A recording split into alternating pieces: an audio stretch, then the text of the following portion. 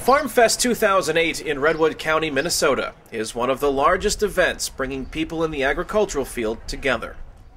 The corn and soybean plants, new tractors, and equipment displays attract farmers. It has been a tough year for Minnesota farmers. Food and gas prices have fluctuated wildly, making the economic outlook uncertain. It's also been an up and down year for politicians in Minnesota, so FarmFest has become an important campaign stop as a way to connect with rural voters. U.S. Senator Norm Coleman, a Republican, is waging a re-election bid against Democratic challenger Al Franken and independent candidate Dean Barkley.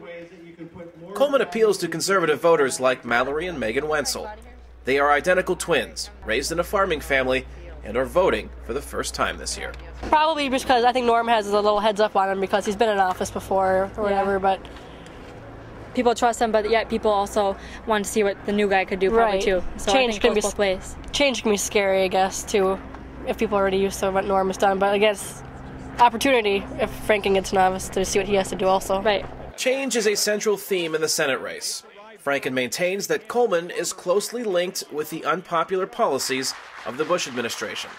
In an interview with VOA, Franken, a former comedian, explained why he links Coleman to President Bush. And he voted 98% of the time with the White House in the first year he was there.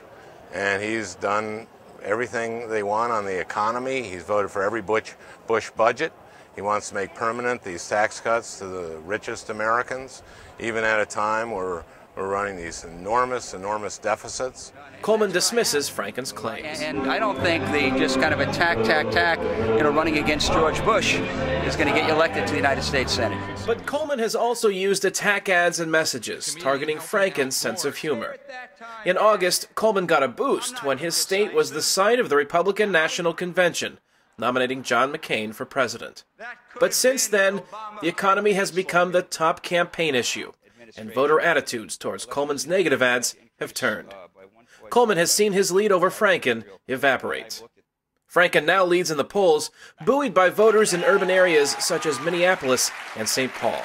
He plans to continue linking Coleman to George W. Bush. So I think that there's going to be uh, a lot of reminder that this is uh, this is four more years of the Bush administration that we're looking at.